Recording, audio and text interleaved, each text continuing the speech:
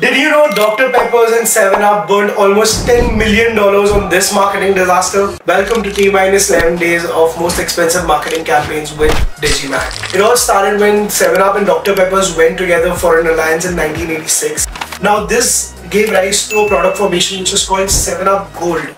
And this product was nothing that 7-Up stood for. It was dark, it was caffeinated and straight away contradicted the saying of 7-Up of never have, never will towards caffeine. It was nothing like the clear and crisp lemonade taste of all the other 7-Up products.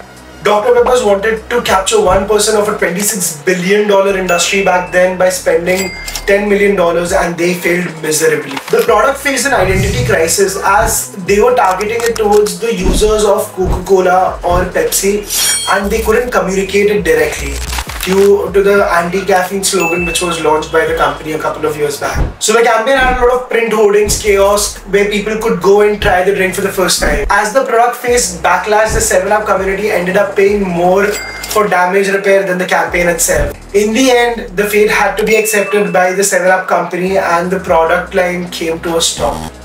What do you think would have happened if 7-Up Gold was launched in today's time? Comment down below and let us know.